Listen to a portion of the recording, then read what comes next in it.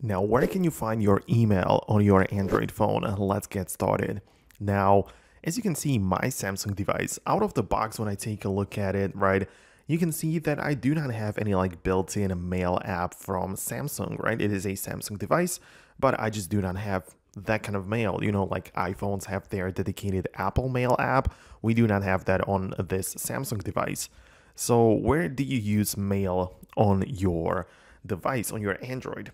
Well, most common one is the Gmail app from Google, which in my case is fresh out of the box, part of the Google folder. So you can find it in here and log in with your Gmail account. But even with other providers, right? You can also just use it to set up a Yahoo email or some kind of other or even Outlook, whatever else it might be. You can add it inside of the Gmail application, right? So that is pretty easy to be found on your phone. And if even if you do not have it, you can head over into the Play Store, open up the search, and just download the Gmail app from Google, install it, and you're going to be able to set it up very easily.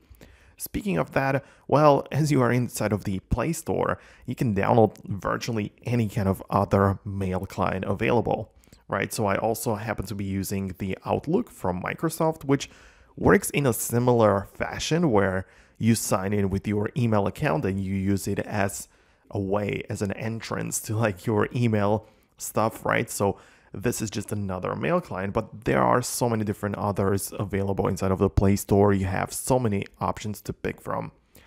Uh, well, yeah, those will only differ by the amount of features and the organization and the way the app is like designed, but most uh, like most likely it will get the same job done no matter which option you go for. So this was a little bit more of a basic explanation of how it works. Let me know below in the comments if you have some kind of, you know, a little bit more specific things and questions on your mind, leave them below. But for now, that's it. Thanks a lot and I'll see you later.